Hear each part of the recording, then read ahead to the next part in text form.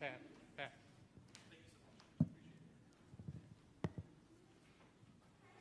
Let's try that again. Sorry about that.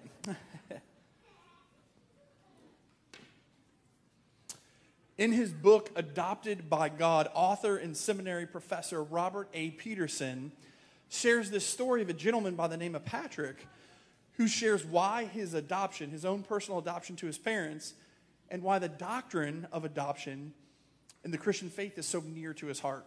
He goes on to say this. He says, As an adopted child, the doctrine of adoption is real to me. Briefly, it reminds me that while I was without a future, a hope, even a family to belong to, somebody gave me all of this and more. And this was done not because of anything I could ever give back in return for such a gift, but just because my parents wanted to, even wanted to express their love for somebody. And likewise, according to the Word of God, God the Father chose me and adopted me so He could love me. And I will never fully understand why my parents or God chose me, but I'm forever humbled and just plain amazed that they did. Here's the thing about this illustration, this story. What resonates with me so much is this line right here. He says, We were without a future, a hope, and even a family to belong to. That was, that was our status. That's where we stood before Christ entered into our lives, right? In fact, we were once sinners separated from God. We were uh, orphaned sinners, right? But now we've become cherished children because of the work of Christ. And so this morning, we're going to be continuing our series on the names of the Holy Spirit, and we're going to be focusing on the name of adoption. And we're going to see how adoption for us paints another beautiful picture of the gospel that sometimes we don't use enough when it comes to like evangelism and sharing. That we've gone from being separated, alienated, orphans, right, because of sin, but because of what Christ stood in the gap for us, right? Now we've been brought into the family. We went from lost sinners to cherished children. And as we've been learning throughout this series on the names of the Holy Spirit, We've been learning that the Holy Spirit works to apply in our lives the finished work of Christ in our everyday, that daily grind, reminding us of what Christ has accomplished. In fact, this is what we've learned. If you guys remember, not too long ago, Andrew preached on the power of the Spirit, right? We learned that the Holy Spirit, the power of the Spirit, it's the catalyst for personal transformation in our lives, right? Not only that, it's also the power that serves as a catalyst for us to live as ambassadors of Christ, to be witnesses for advancing God's kingdom work. And today, what we're going to do is we're going to learn how adoption reminds us of our new identity in Christ, and it empowers us because of that identity to be a people who restores community while representing Christ. So let's see what the Apostle Paul has to say in Romans chapter 8, verses 12 through 17 about adoption. This is what he says. He says, Therefore, brothers and sisters, we have an obligation, but it is not to the flesh to live according to it. For if you live according to the flesh, you will die, but if by the Spirit you put to death the misdeeds of the body, you will live. For those who are led by the Spirit of God are the children of God. The Spirit you receive does not make you slaves so that you live in fear again. Rather, the Spirit you received brought about your adoption to sonship, and by Him we cry, Abba, Father. The Spirit Himself testifies with our spirit that we are God's children. Now, if we are children, then we are heirs, heirs of God and co heirs with Christ, if indeed we share in His sufferings, in order that we may also share in His glory. Before we wrestle with what this means, I, I got to give you guys a little bit of context, a little bit of background of why Paul is writing this letter. So, Paul is writing the book of Romans to a group of Christians. They're made up of both Jewish believers and Gentile believers.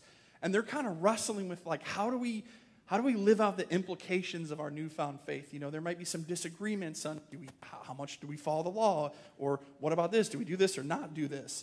And so there's a little bit of conflict going on in the life of the church. So Paul's like, "Listen, I'm going to write this letter to you because I want to help both Jewish and Gentile Christians be united in the gospel that he preached.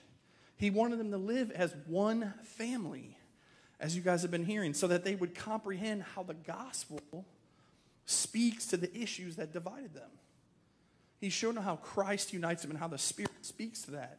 In fact, our big idea today is this because Jesus has set us free from slavery to sin and adopted us as his sons and daughters, we must live as children of God. So the question becomes okay, Pat, well, yeah, we got to live as children of God, but what does that mean? How do we, how do we live as children of God? Well, there's two ways that we primarily do that. First, we have to walk by the Spirit and not by this flesh.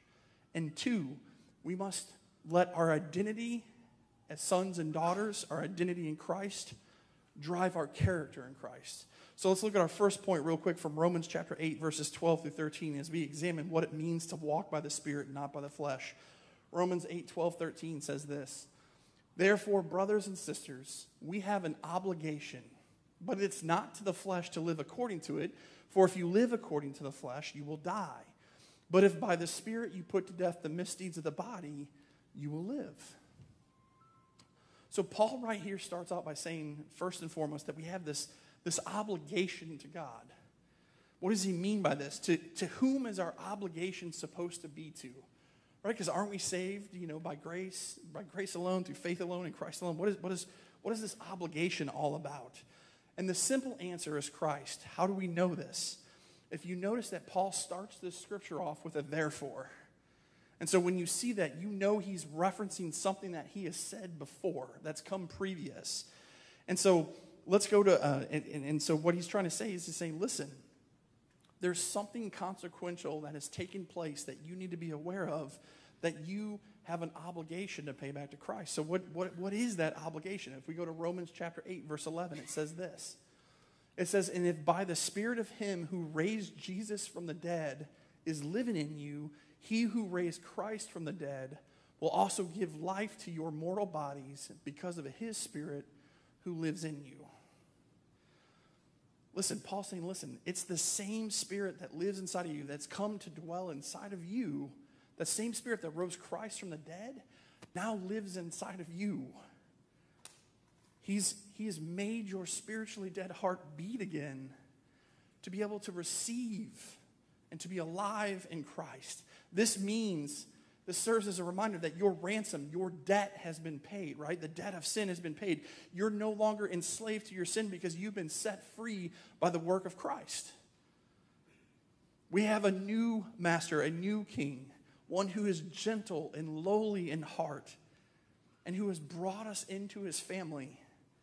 And this is why Paul goes on to say, he goes on to say, like, listen, you as you come to this family, you also have to put to death the misdeeds of our sinful nature. What he's basically saying is listen, you have to wrestle with sin. You have to kill it. You have to put it to death. We call this the mortification of sin. It's, it's putting it to death, extinguishing it, get rid of it. How do we know this? In Romans chapter 8, verse 13, Paul says these words. He says, For if you live according to the flesh, you will die. But if by the Spirit you put to death the misdeeds of the body, you will live. As I said, when he uses that word misdeeds there, he's referencing sin within our lives. What you need to understand is this we kind of live in this tension, right? Christ has already paid the price that needs to be paid for us, but we're still waiting for the consummation of his kingdom. We call this the already and the not yet. So, as believers, yes, Christ has paid the price of our sin, but we still wrestle with our fleshiness, with our sinfulness, because we're no longer enslaved to it, but yet it still has effects on us until Christ comes to eradicate it once and for all. And so Paul's saying, listen, you have to wrestle with this. You have to go to war against sin if you want to walk by the flesh. And so we got to ask ourselves the question why should we put our sin to death? Because listen, friends, if you let sin reign in your life, then it will quench the Spirit of God from doing powerful, transformative things in your life. What do I mean by quenching the Spirit? I mean this to quench the Spirit means to live in our sin in such a way that it actually impedes the Spirit's ability to transform you and remake you into the image of Christ. I think of it this way this may be a better way. Think of a fire. The Holy Spirit's been described as a fire or a light if I were to smother that fire or that light, it's going to put the fire out. And if I put that fire out, then what I'm going to do is I'm going to limit the heat, the, the things that it gives me, the benefits, right? And so, if we live in our sin, it's like we're smothering or putting out a flame or a light that stokes your faith. You need that fire. I like how um, Puritan author and pastor John Owen puts it. He said this about sin. He said, Be killing sin, or sin will be killing you. And what Owen says here and what Paul is telling us is that in this text is that Christians have to use their newfound freedom, their new identity in Christ, not to live for themselves and live how they see fit, but rather to live in a way that brings honor and glory to the name, to walk by the Spirit, and they have to put to death and resist sin. You have to go to war against your sinful tendencies. It's all out war. This means scorched earth. You have to, you have to stamp it out, extinguish it, get rid of it. Because if you don't proactively and ruthlessly go after sin, it will impede the Spirit's ability to work inside of you. So the question becomes how do we kill sin? First thing we have to do is we have to call sin what it is it's sin. We have to call sin what it is it's sin. We have a tendency in our culture, we want to lessen the meaning of that word, so we call it like a misstep, a mistake, right? The skeletons in my closet, or my personal favorite that I see said a lot is when you know someone who keeps doing something over and over again, and then people excuse and say, well, that's just who they are and how they are. And it's like, no, that's sin at work in someone's life. Because what you guys need to understand and what we all need to remember is that sin is the smearing of a relationship. It's the breaking of our holy bond with God. It's missing the mark. And the thing about sin is you can't sweep it under the rug and explain it away. You can try. You can't try to manage it. It'll keep popping up over and over again. The only thing you can do with sin is if you wanted to put it to death, the first step you have to take is you have to name it and you have to repent. You have to name it and repent. And I hate to break it to you, you will do this through your life as a Christian. This is the part and process of sanctification. It's constantly extinguishing and getting rid of sin in your life so you're becoming more and more like Christ each day of your life. And so, not, not only do you have to name it, right and repent of it but you have to you have to remember you can't fight this battle alone. So you've heard us using the word family. If you want to fight against sin guess what? You need your brothers and sisters in christ. You need your family. You need accountability in your life if you want to grow. Let me share share this with you. I have two brothers for two years who poured their life into me here in this church. We were in a mentoring relationship the three of us. It's my friend john and my friend gary and for two years, we walked through and examined what it meant to be a disciple of Jesus Christ. And we would meet for about hour and a half, two hours. Sometimes it went to as we were talking. You know, we grow really close in relationships. But that first part of that conversation, we would kind of check in with each other and see where we were at. And both those men had the freedom and the ability, even with me, you know, being in a position of ministry, to say, hearing something going on in my life, they could call me out and say, Pat, I think what you said to Rachel that morning, you crossed the line and you sinned and you need to repent. And I'm just using as an example, Rachel, because I'm sure you'll love to hear that. so, but here's the thing I had two brothers who were willing to say, listen, bro, you got to repent. You're in sin.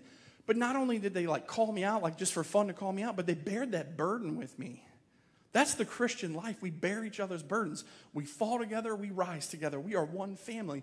And that's what those two brothers did. In fact, as we finished the two years, one of the coolest gifts I've ever received from a brother in Christ is we were meeting at 54 Bar Street and Grill down in Chesterfield. It was finally after COVID cleared. You could finally get out, go back out.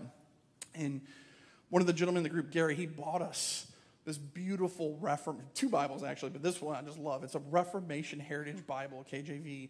And he bought it for us just as a reminder that we have to stand on the word, that we have to let the word of God read us in such a way that it'll expose our sin. And I knew, but it was through that relationship, through that accountability that I had brothers saying, You got to stand on the word. You have to, Pat, you need to look at this and probably repent of this.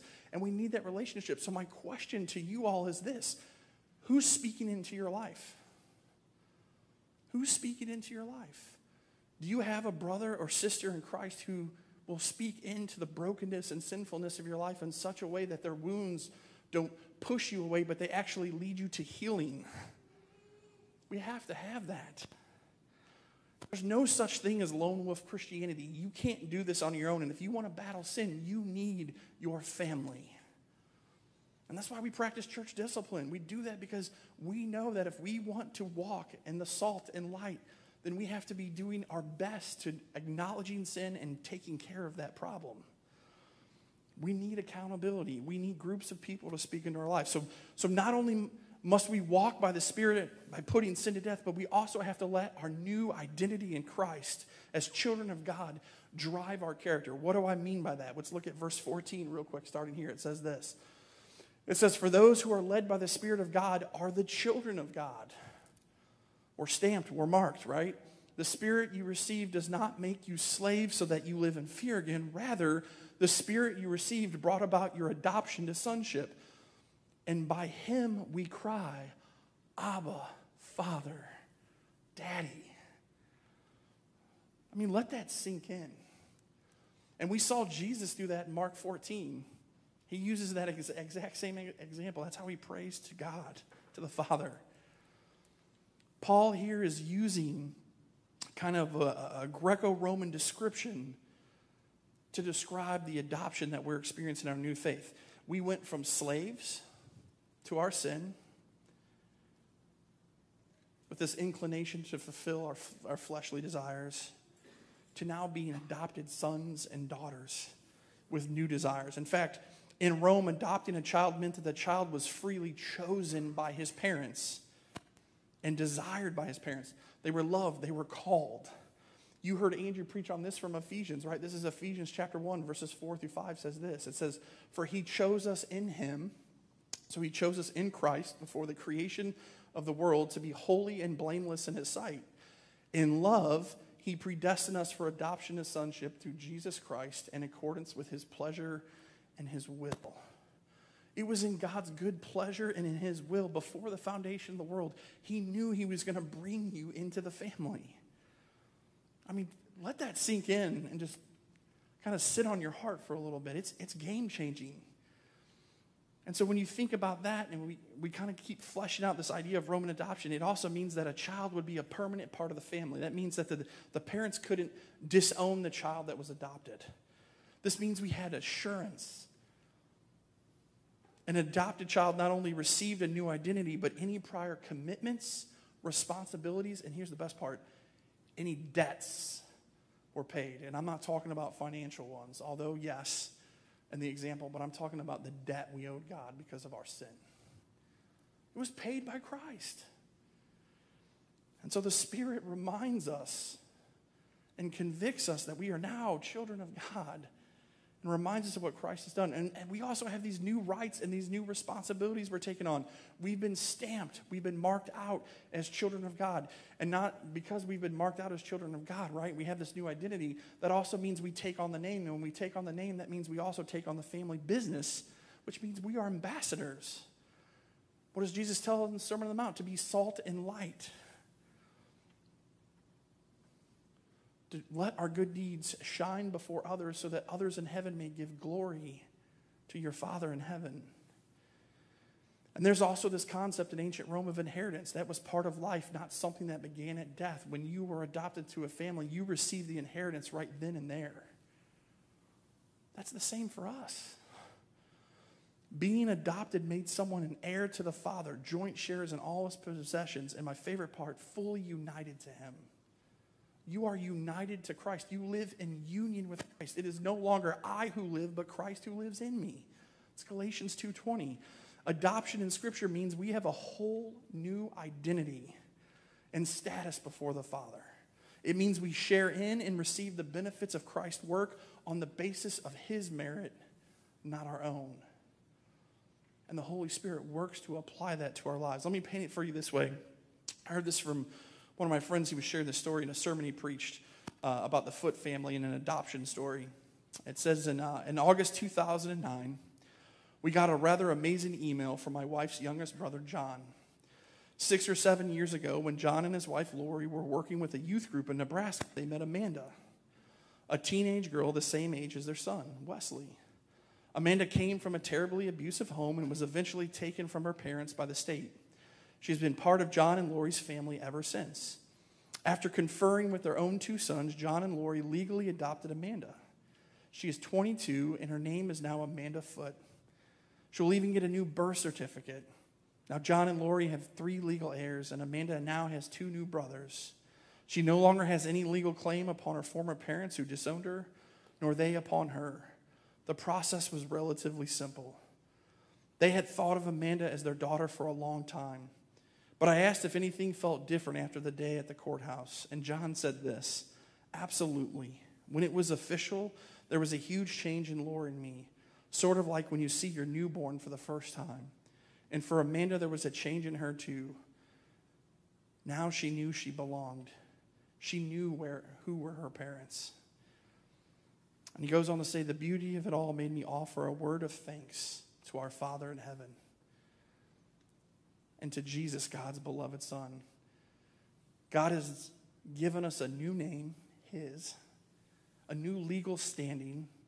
That means we're His responsibility, His heirs, and a new family of brothers and sisters in Christ, and with God as our true Father. But God went even further.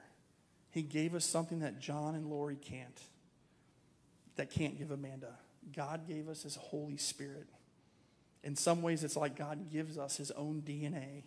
But even more than that, God implants in us His heart, His mind, His passion, His holiness. And people even look at us and say, My, how you bear a striking resemblance to your Father. So we have to ask ourselves how should my character be different in light of the fact that I've been adopted into God's family? First, we need to understand this. You need to make sure that you run towards God, not away from Him, especially when you're wrestling with your sin. What do I mean? Think about our first parents, Adam and Eve. What did they do in the garden after they sinned? They went and they hid. It even says this in Genesis 3 8. It says, Then the man and his wife heard the sound of the Lord God as he was walking in the garden in the cool of the day and they hid from the Lord God among the trees of the garden. They hid because they couldn't be in the presence of God. Their sin had created a chasm, it smeared their relationship. They couldn't be in the presence of His holiness, and they had this fear. Sin had impeded them from them being able to be in His presence, and therefore it tarnished their relationship. But listen to what Paul says in Romans 8 15. He says this. Paul says, The spirit you receive does not make you slaves so that you live in fear again. So, because of what Christ has done, we've received the spirit of adoption. We don't have to fear the wrath of God, but rather the spirit you received brought about your adoption to sonship, and by him we cry, Abba, Daddy, Father. We have access again to the Father. We get proximity again because of what Christ has accomplished for us. Paul here is saying that there's a change in the relationship. We went from enemies to children, and all by the hands of Christ. We no longer have to live in fear of God's wrath or the consequences of our sin because it's been satisfied, it's been paid. And now Christ has made a way for us to run back to God. Even if we stumble in sin, and this is one of my biggest fears that I have for people when they wrestle in their sin, especially as a son and daughter of Christ they try to have a tendency to go run and hide when what we need to do is run right back to the cross. And repentance and remembering God's grace and mercy that we've experienced at the hands of Jesus. Remembering our new identity and all that God has done for us reminds us we have a security in Christ. And so, second, to apply this identity, we must remember that we have an assurance that God will never cast us out. He'll never disown us or get rid of us. What does Romans 8 16 say? It says this The Spirit Himself testifies with our spirit that we are God's children. You're God's children. You've been stamped, it's been marked. It means you can't out sin the grace of God.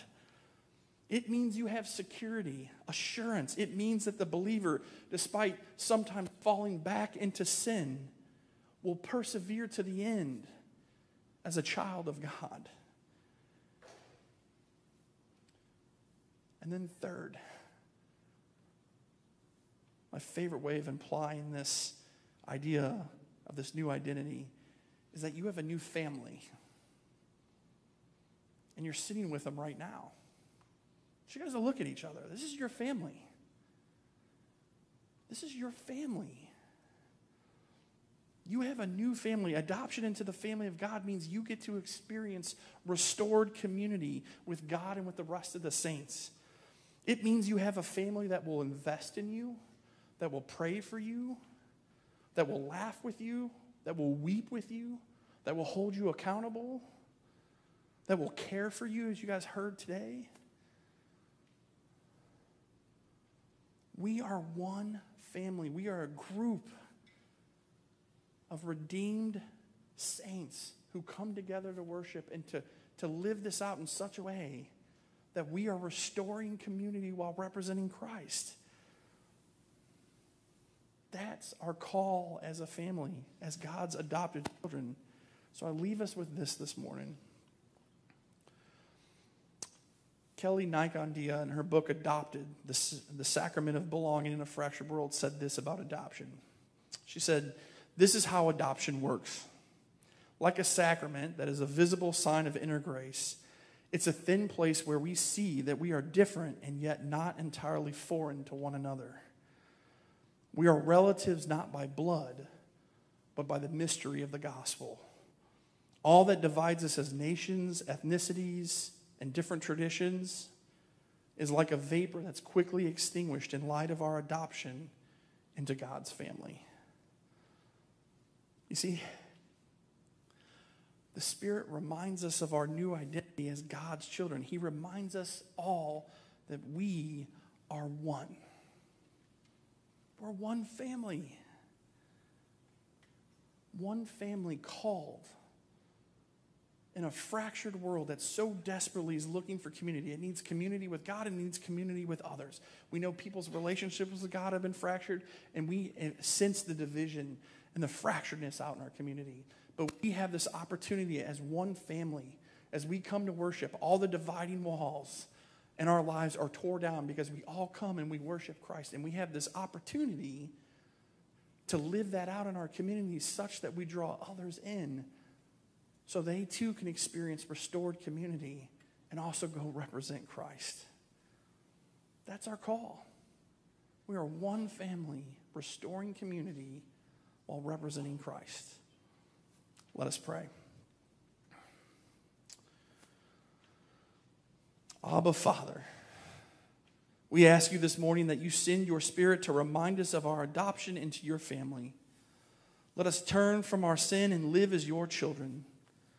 Let our light shine forth, reflecting the family name, so that the watching world may see our deeds and give you glory. And help us to be a family of one who lives in a community that embodies and represents your grace, your mercy, and most importantly, your love. And lastly, we thank you for living the life we should have and dying in our place so that we could be your children forevermore. And it's in the glorious name of Christ we pray. Amen.